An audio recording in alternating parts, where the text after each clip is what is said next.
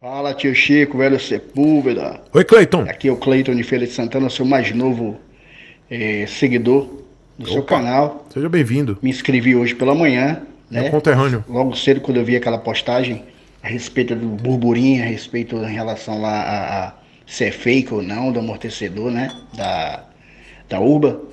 Diga de passagem, linda moto, tá?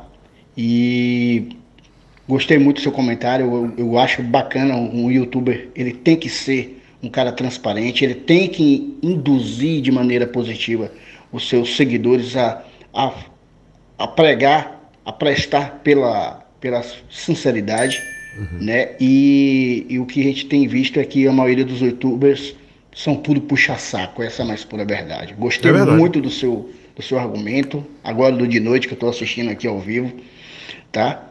E aí, hoje, o meu comentário aqui, Sepúlveda, em relação à Honda. Eu tenho várias e várias críticas, né, para a Honda. Inclusive, eu acho injusto o que ela tem feito com o brasileiro. Décadas e décadas, né, no Brasil, sacaneando o brasileiro, empurrando produto fuleiro a preço de moto premium, né, sopinha de letra, essa esculhambação que a gente tem visto É. né? E eu espero que de fato ela perca mercado, tá certo? E aí o que eu quero falar é a respeito da PCX. Eu tenho uma PCX 2013, diga de passagem, minha moto nunca passou para mão de mecânico, sempre na mão de da própria concessionária. E para você saber, não sei se isso é de seu conhecimento, nem do pessoal, dos seus inscritos, dos, os inscritos no seu canal, a PCX, o freio tambor dela é o mesmo freio da Titan 160. O impressionante é que o preço para CG é um e o para PCX é outro. Então a gente tem visto aqui o que, como você ainda falou mais cedo, né?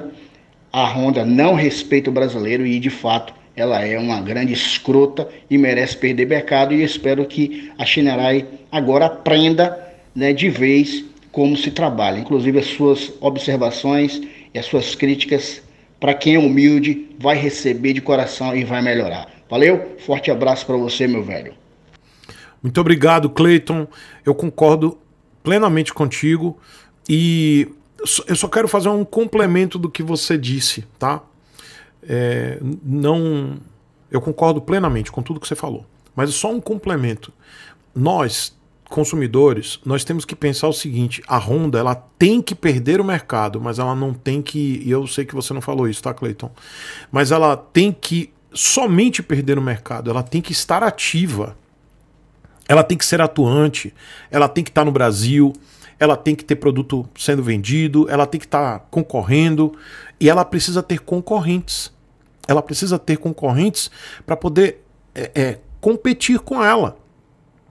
O que seria ideal no nosso mercado é o que ocorre em vários outros mercados. A Honda, ela é líder em alguns mercados mundiais. É líder, mas ela é líder com uma fatia é, com, com um market share, né, uma fatia de mercado muito próxima aos seus concorrentes. E essa é uma grande virtude dos outros mercados, é que há uma competitividade, um, um, eu não digo um equilíbrio perfeito, mas existe um certo equilíbrio entre as concorrentes, né? Honda, Yamaha e, e outras marcas. Né? Aqui no Brasil são mais de 90%. É um absurdo, é um disparate, é uma loucura. É uma falta de senso que só aqui no Brasil nós temos, por uma série de fatores. Protecionismo, é, impostos que geram esse protecionismo, né? E o brasileiro, que é um povo extremamente bitolado, né? não, não abre. E também das próprias concorrentes, as montadoras que vêm para o Brasil, que chegam fazendo cagada e não sabem proceder de uma forma para poder alcançar certos mercados, é, esse mercado. Como assim? Botando fábrica, ampliando sua, sua rede, botando dinheiro, porque se quer peitar a Honda tem que botar dinheiro e não simplesmente, ah, vamos vender 10 mil motos e tá tudo certo. Vamos vender 50 mil motos e tá tudo certo. Não, tem que vender muita moto. Para vender muita moto tem que investir, tem que botar fábrica. Para abrir concessionário tem que diminuir esse gargalo de produção. O que que é o gargalo de produção? É a limitação física de produzir moto no Brasil. Eu já fiz um vídeo hoje falando sobre isso, gargalo de produção. E é, é isso que muitas montadoras têm no Brasil hoje. Bajaj, Royal é, e outras que querem tentar pegar uma fatia de mercado, mas não conseguem porque fisicamente tem um gargalo de produção, porque não tem suas fábricas operando ou porque ainda não, não botaram dinheiro suficiente para ter fábrica no Brasil. E é isso, já que o Brasil ele dificulta as importações, o modus operandi é ter fábrica. E o que, que dificulta as importações? O governo. O governo coloca imposto, dificulta, gera protecionismo. E qual é a solução? Botar dinheiro fazer fábrica. Ah, tio Chico, mas é muito caro. Então é isso. Então a gente vai viver nessa merda que a gente está vivendo aqui, essa bosta, dessa bolha. Então tem, todo mundo é culpado. As concorrentes não querem botar dinheiro, Honda e Yamaha se aproveitam, são cômodas, exploram o brasileiro, o brasileiro é um trouxa. O Estado, que é um vilão absoluto, né, que bota o imposto e gera toda essa loucura com protecionismo. Mas o meu intuito é que a Honda ela perca mercado, mas que ela não, não, não saia do Brasil, não entre em falência, até porque isso é muito difícil de acontecer. É, a, a curto, médio Talvez longuíssimo prazo isso pode acontecer, mas acho muito difícil. Mas o que eu desejo é que a Honda ela tenha cada vez mais concorrentes que cheguem mais próximos, ela perca mercado para ela chegar na faixa dos 30% de mercado. Seria muito legal a Honda com 30% de mercado e as outras chegando próximo, né, com com é, 30%, gente, 30% é muito no mercado. Se vocês olharem alguns mercados, a Honda tem isso, 35%, 30%, e isso é um equilíbrio, a Honda sendo líder. É isso que eu desejo para o Brasil. É a Honda ter 35%, 30% de mercado, que é muitíssimo, mas que as outras consigam ter uma fatia de mercado cada vez maior para poder ter mais concorrência, porque aí a, aí a Honda ela se movimenta. Para fechar o meu raciocínio, só para dar um exemplo para vocês. Hoje as motos mais vendidas da Honda, elas são do, da linha de motores 160 de plástico, né? Brosta 160 e a CG 160 e suas derivadas, né? Titan, Fan, Start. Motor 160 de plástico que vocês sabem que é um motor é, eficiente, tem bom torque, tem boa potência, eficiente é, é, quando se fala em é, eficiência energética, mas é um motor porco, pouco durável, né? não tem resistência. É um motor feito para quebrar, para durar dois anos no máximo. Mas ainda assim, a Honda ela tem um motor bom que poderia ser utilizado nessas motocicletas, que é o motor 190.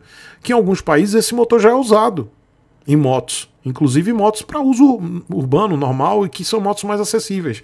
Mas aqui no Brasil a Honda ela sabe que ela pode ir até o fim, esticar a corda até onde dá com esse motor 160 que é um lixo.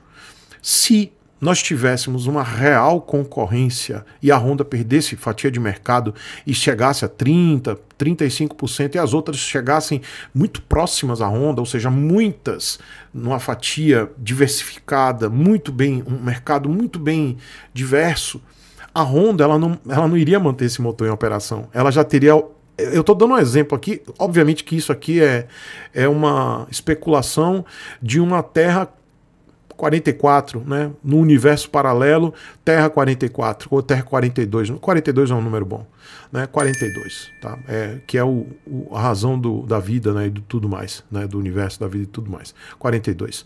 Então a Terra 42 nesse universo seria realmente uma ronda com 30, 35% do mercado ela não, ela, ela não iria manter esse motor 160, ela iria botar um motor 190. Eu tenho certeza que é, se nós tivermos aí um portal qualquer, ou se eu tiver a oportunidade de ir para um portal para a Terra 42, a Honda ela estaria aí com um motor 190 nessas motos. A, a moto mais vendida seria um motor 190.